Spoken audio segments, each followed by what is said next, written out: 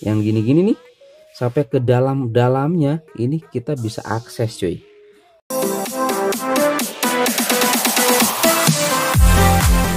Kembali lagi bersama saya di channel Wahyu Jekta Tutorial.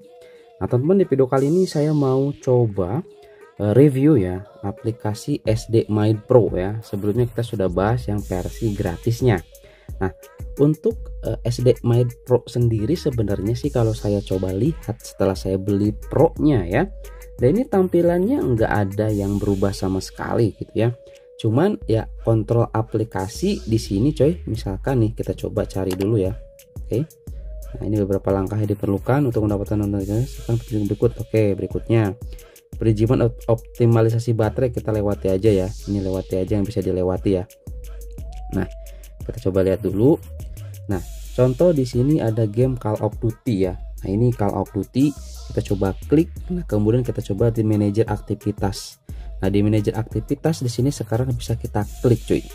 Ini banyak banget permissionnya ya tuh. Permission daripada si uh, game Call of Duty ini. Nah ya.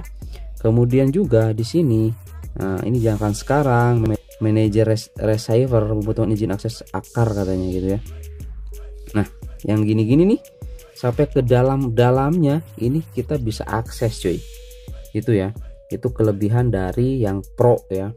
Jadi aplikasi ini benar-benar kita bisa matikan tanpa harus meng, meng apa menginstallnya gitu ya.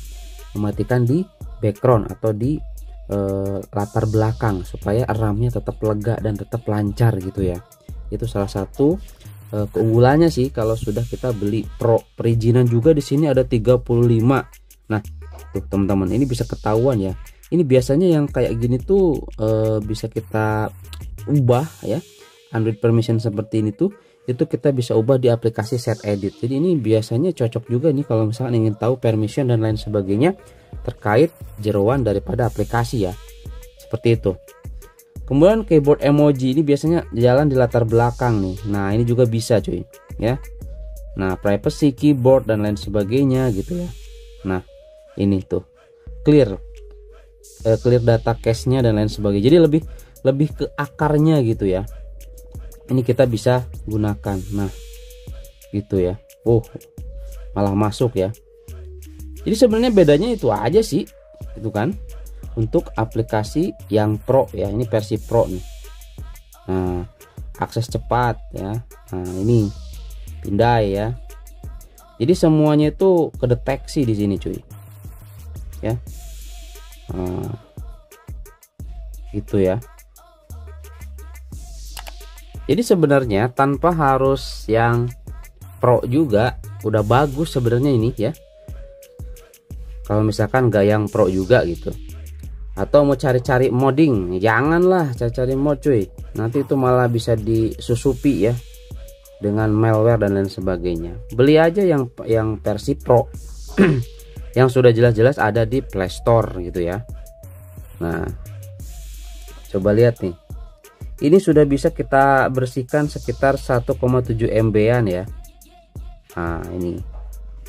Dengan ini aja satu kali pakai dalam 24 jam kita langsung clear seperti ini tuh udah cukup sih untuk meringankan smartphone kita ya. Dari berkas-berkas sampah dan lain sebagainya Nah, pencarian berkas sampah ini nih yang e, banyak biasanya nih. Ya, nyita berapa giga biasanya. Itu kan, apalagi yang HP teman-teman sama sekali nggak nggak pernah di clear cache-nya gitu. Itu pasti akan e, banyak sekali. Ya, nah ini penyaringan juga nih, ya. Seperti ini.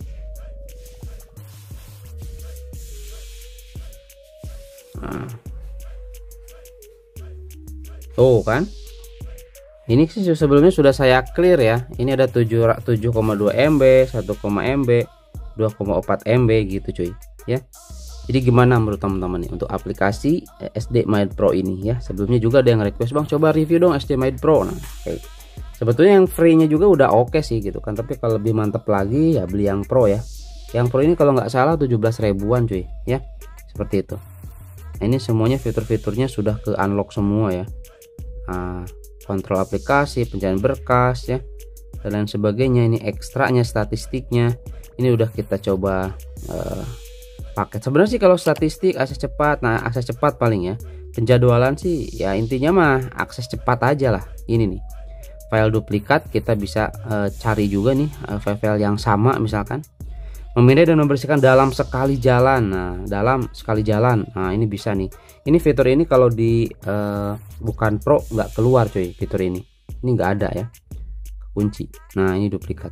Mantap sini ya. Recommended aplikasinya cuy. Ya boleh dicoba aja ya.